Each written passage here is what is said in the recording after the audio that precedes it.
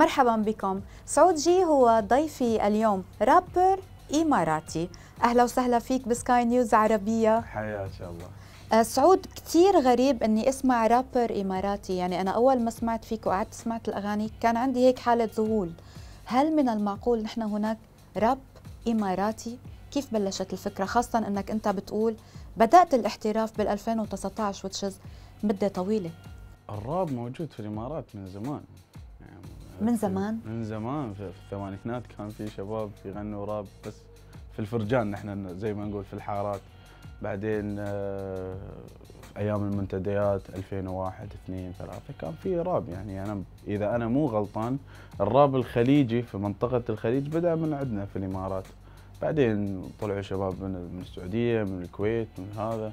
أنا عن نفسي بتكلم عن نفسي أنا بديت أحب الموسيقى واتخذت قرار إني أصير رابر في 2009 ومنتديات وأشياء نفس باقي الناس لكن 2019 هي كانت نقطة التحول بالنسبة لي. آه، ممكن استقلت من الوظيفة وقلت be a musician. سوف أحترف الموسيقى. بالضبط. طيب اجمالا موسيقى الراب أخذت وقت كتير طويل لحتى تركت بصمتها عالميا. فما بالك في العالم العربي؟ هي حتى الآن الراب تحاول أن تجد لها مكانا حقيقيا في الساحة الموسيقية. أنت معي ولا لا؟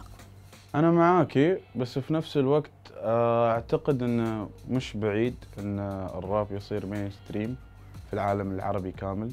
حاليا هو mainstream في المغرب mainstream في مصر وفي كثير دول وفي كثير من الدول العربية. وما أعتقد أن الشيء بعيد يعني. الشباب في السعودية شغالين في الكويت شغالين في الإمارات إن شاء الله يعني نشوف آه، ناس أكثر نشوف مواهب أكثر. بس ما أعتقد انه شيء بعيد. هو صعب لكن ما أعتقد إنه بعيد. تعتقد صعوبته لها علاقة بالسماع لي يعني أنا قلت لك لما كنت عم بسمع أغانيك كنت كتير سعيدة بال بالموسيقى بس في كتير كلمات ما كنت عم بقدر أفهمها. مش لأني ما بفهم خليجي. بفهم خليجي بس يمكن الإيقاع السريع لقول الكلمة هو اللي بيخليني ما أقدر أفهم شو عم بيقولوا.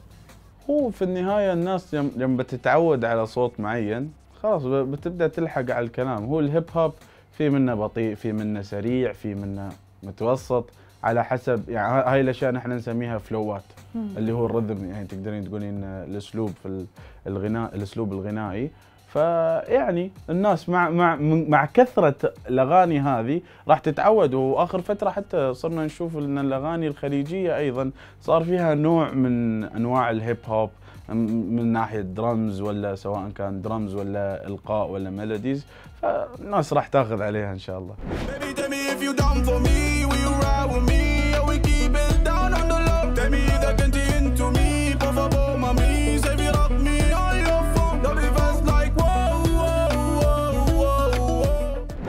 بتقول إنك بتفكر أحيانا إنك تدخل موسيقى الراب وترجع تعيد إحياء أغنيات قديمة. قلت لي ممكن فكر بأغنيات لأم كلثوم. بتخاف لما بدك تشتغل لأغنيات؟ هل أثر عند المتلقي؟ يعني قبل ما تفكر تشتغل عليها وترجع تقدمها بشكل جديد؟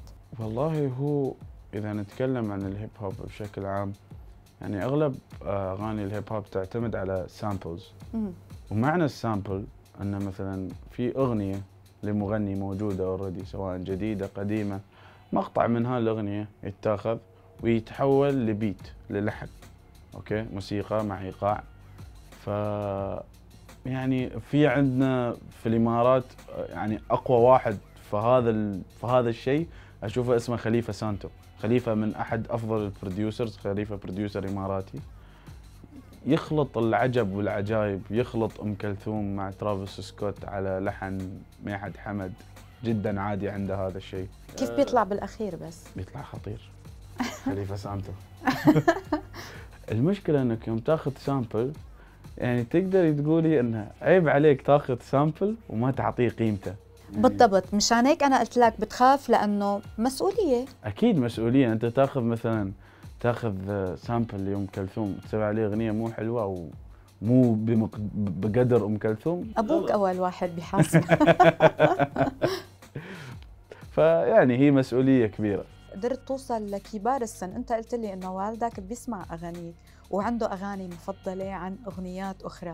برأيك كيف يستطيع الرابر العربي إنه فعلا يوصل لهذا العمر يعني لناس فوق الأربعين خلينا نقول فوق الخمسين يلي هن متعودين يسمعوا كلاسيكيات الأغاني وضلينا غرقانين فيها إذا أنا بدي ضم حالي لها والله هو مو سهل الشيء لأن في النهاية الصوت اللي قاعدين نقدمه هو شبابي أكثر مما هو الناس نقدر نقول كبار في السن ولا من الجيل اللي قبلنا لكن موضوع الخلط إنك تخلط مثلا أغنيتك أو الايقاع اللي أنت راح تسويه مع أغنية من أغاني سواء مهد حمد ولا عبد المجيد عبد الله إنك تسوي سامبلينج هذا شيء كثير جميل. ممكن انه مثلا يوم واحد يسمع يقول أنا أعرف هذه الأغنية بس طريقتها غير. ف يصير في قبول للشيء. هو هو مو بسهل the end of the day يعني في نهاية اليوم مو بسهل الموضوع لكن نحاول يعني إن نوصل لجميع الناس. وأنا أشوف إن أنا كسعود هدفي اليوم مو اللي بعمري ولا اللي أكبر مني. أصح. هدفي اليوم الأصغر لأن هذا الجيل القادم هذا الجيل اللي لازم يسمع good music لازم يسمع موسيقى تمام. هذا اللي راح يكبر بكرة راح يتخرج هو اللي راح يشغل أغانيك. وهذا يعني اليوم اللي في عمري هذا بكرة راح يكون في عمري أنا. فأحس إن هاي الطبقة جدا مهمة اللي هم ال 14 15 هاي الفئة العمرية جدا مهمة. لفت لي نظري لما قلت لي قلت لي أنا آه، ما كنت قادر بوقت من الأوقات إني أعمل موسيقى حلوة فاكتشفت إنه أنا كنت عم بسمع موسيقى غير جيدة. وبالتالي رجعت للأغاني القديمة وحكيت لي عن مطربينك المفضلين يلي هن فعلا على الاغلب كلاسيكيين إذا بدنا نحكي من العرب لحتى تقدر تصنع موسيقى جيدة. اذا أنت ما بالضرورة تكون عم تسمع rappers بالضرورة فقط أو hip hop singers يعني لحتى تقدر تعمل موسيقى خاصة فيك حلوة. أنا عن نفسي أسمع أي شيء يعجب أذني. حلو. أي شيء. هندي عربي ماليزي إنجليزي كله. ما بتوقفك اللغة. لا لأن السمع. الموسيقى موسيقى. إذا كانت حلوة فهي حلوة. من من من هندي من ف... أنا أسمع أغاني فرنسية كثير ما أفهم شيء. بس mood. يعني على الصبح جبن. و coffee وأغاني فرنسية mood. فهمت علي؟ ف يعني مو فاهم شيء. يمكن يمكن اللي قاعد يغني قاعد يسبني مو فاهم. بس يعني في النهاية الموسيقى موسيقى. إذا كانت حلوة فهي حلوة بأي لغة كانت. هذه يعني أنا أشوف إن هذا اللي هذا هو اللي يميز الموسيقى عن أي شيء ثاني. انه يعتمد على الإحساس أكثر مما إنك أنت تفهم. شو اللي قاعد يصير؟ لأنك إذا سمعت chord حزين راح تحزن وإذا سمعت chord سعيد راح تفرح. تعتقد أن الموسيقى خلقت للمتعة. الرسائل ليست ضرورية إلا إذا ساقبت يعني أو صدفت. إنك تحط أنت بتشوف إنه الموسيقى يجب أن تكون فقط لتفرح الجمهور. معلش خليني بس أقول لك شغلة. ألا تعتقد انه الموسيقى أصلا عبر الزمن حملت أكثر مما يجب أن تحمل؟ يعني الموسيقى فعلا هي خلقت للمتعة والرسائل يجب أن تكون في مؤسسات خاصة. أنا مو ضد أن الأغاني يكون فيها رسائل. في أغاني كثير حلوة فيها رسائل خاصة مثلا إذا في مغني أمريكي رابر اسمه Lil Baby لما صار الموضوع في أمريكا نزل أغنية اسمها The Bigger Picture من أحد أجمل الأغاني اللي أنا سمعتها فيها رسالة ما ننسى توباك والناس اللي قبل اللي تكلمت عن الناس. وفي عالمنا العربي أيضا في كثير rappers قاعدين يتكلمون عن عن عن رسائل. لكن في نفس الوقت يعني لا تحط علي العبء تبع لازم أنت تسوي رسالة. أنت لازم تسوي رساله إذا ما في رسالة أغنيتك مو حلوة لا. entertainment أنا اليوم أبغى أحط رسالة بكرة أنا زعلان أبغى أغني حزن اليوم أنا مبسوط. يعني خلينا نسوي شيء فانكي شيء مفرح شيء بس عشان يمشي عشان ترقص عليه عادي. Music, your stuff, your space. أنا مالي دخل تشوفني chillin with business in space. نحن ولا ماسك in a race. على السما to the moon first place. بتعرف لما بسمع إنه في راب آه، خليجي وبشوفكم منكم لابسين جينزات.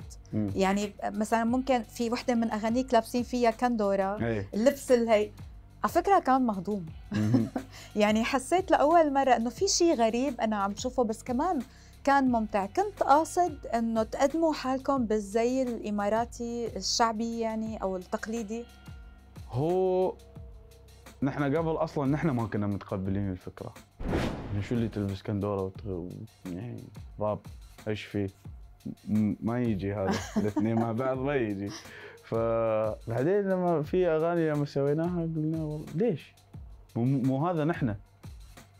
نحن الناس اللي تلبس كنادير نحن اللي سوينا هذه الأغاني فليش ما نلبسها؟ لأن صرت أؤمن في شيء، أنا في فترة من الفترات كنت أبغي أروح برا قلت مكاني مو هنا ما مو قاعد يمشي السوق شو أسوي؟ قلت بروح برا بعدين فكرت رحت برا عندهم هم عندهم اللي يكفيهم من ال artists. وليش أنا الأجنبي اللي جاي هم راح يسووا لي موضوع؟ فما ما في مكان يرفعك غير مكانك. يعني بالإنجليزي نقولها إنه blow up in your city so you go international. وأنت رحت international يعني أنت فجأة انطلقت عالميا لأنه أنت عايش بدولة حقيقة العالم.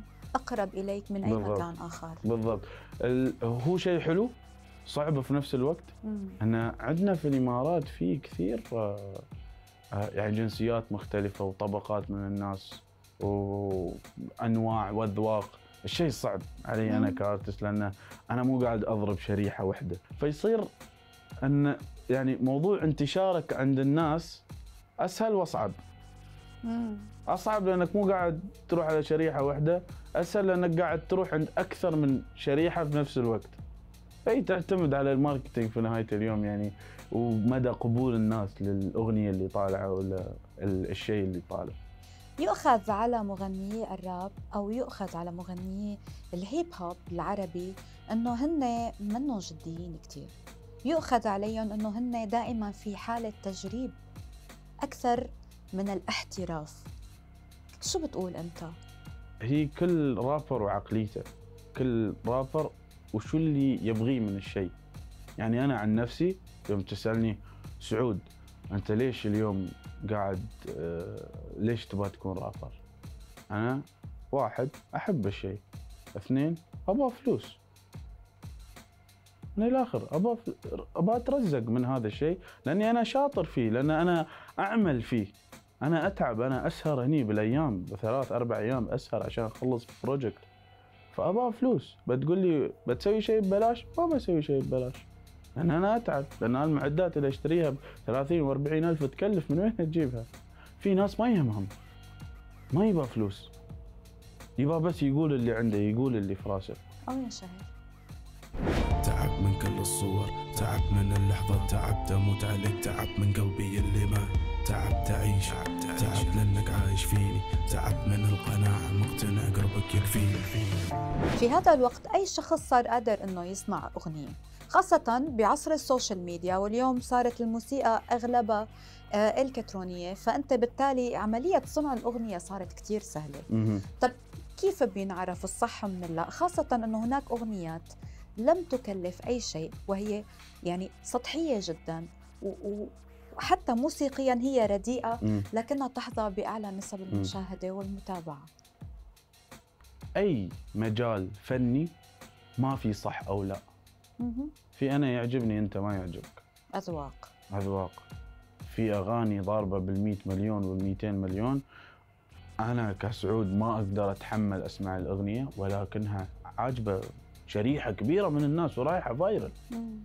فهي في النهاية أنا يعجبني أنت ما يعجبك أنت يعجبك أنا ما يعجبني. صح ولا؟ ما في. غريب كنت متخيلتك تكون طول الوقت عم تحكي هيك مثل ما أنا التقيت بكثير إنه يو كذا كثير عادي أنت يعني. أه لا هو دائما آخذ هذا ال stereotype. يعني في كثير مقابلات حتى لما دخلت. أتذكر احد المقابلات بدون ذكر أسماء دخلت المذيعة قالت لي yo yo yo وهذا أول ما قعدت قالت لي وين ال chains وهذا؟ قلت لها لا ما في.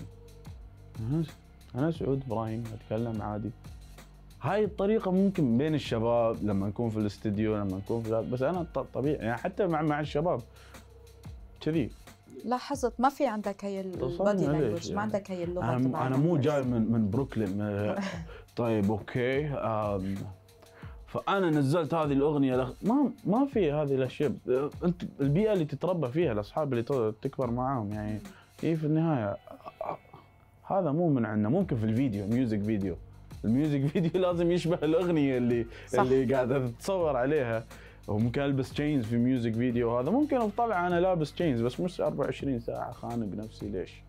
كصانع. لهذه الموسيقى أنت قلت لي إنك بتركب تقدر تعمل concepts يعني. بتجيب عالم وكذا هل تهتم بأصوات المغنيين أو المؤديين شو اللي بيلفتك بهدول العالم واحد الصوت مو مهم. اثنين ال passion مهم. ثلاثة الصوت مهم إذا كان في hook. Okay؟ غير كذي أن الشخص يكون عنده على الأقل خلفية بسيطة. مو واحد من ال zero جاي أنه يلا make me rap doesn't work like that. طب ما في كتير آه، نجوم بالفترة الأخيرة ممثلين دخلوا إلى عالم الغناء مم. وتحديدا إلى ال rap music مم. وبلشوا يقدموا أغاني وعم بيعملوا حفلات كبيرة ما بدي أذكر أسماء يعني. في. عادي. قاعد يسوي شيء صح ولا لا؟ ما بعرف. يمكن قاعد يطلع حلو. في منهم قاعد يطلع حلو في منهم قاعد قاعد يطلع مو حلو. مم. اللي قاعد يطلع حلو هذا في يعني أنا بعطيك بعطيك مثال. آه يعني أحد أصدقائي طارق الحربي. مم. معروف انفلونسر ممثل مسرحي طارق. يسوي كل شيء. طارق يمكن من أفضل الرابرز اللي أنا عرفتهم في حياتي. وطارق يغني وعنده أغاني. الناس تفكر إنه لا هو يغني يعني في أحد يضبط له الموضوع. لا. طب كيف بدك تودع ال- الناس يلي اليوم تعرفوا عليك عن طريق برنامجي؟ كان معاكم سعود إبراهيم الكلام اللي قلته في خربطة في في صح في غلط. خذ الزين وخلي الشين يمكن أنا أكون صح يمكن ما أكون صح. يعطيكم العافية والقادم أجمل إن شاء الله.